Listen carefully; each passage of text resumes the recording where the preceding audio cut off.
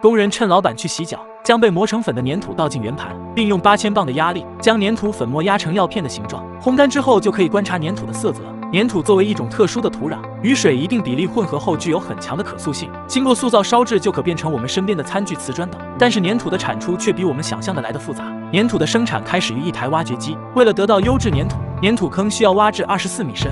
此处的粘土不仅白皙，而且松软，极易掰碎。被开采出来的粘土会被统一运送到工厂，先进行风干。风干好的粘土会被铲车送进刀片滚筒，锋利的刀片会将粘土块切割成较小的块状，这样可以方便料斗的收集与之后的研磨。而研磨机有巨大的滚轮与多个锤子组成，高速旋转的锤子能将块状粘土打成粉末。为了方便研磨，粘土块会被再次进行加热烘干，直至水分含量达到百分之二以下。紧接着，工人盖上研磨机，启动机器，被研磨好的粘土会被上方高速旋转的刀片利用气旋效应将精纯的粘土粉末吸起并收集。紧接着，工人会将粘土粉末压成药片的形状，根据色泽与重量来区分不同粘土适合的加工过程，最后再将其打包运往各个加工厂。而部分加工厂需要湿的粘土。所以工人也会将部分粘土直接加水与化学剂，将其混合搅拌，直至让粘土看起来像粘稠的花生酱。最后再用油罐车装箱运往下一个加工厂。我是但丁，我们下期见。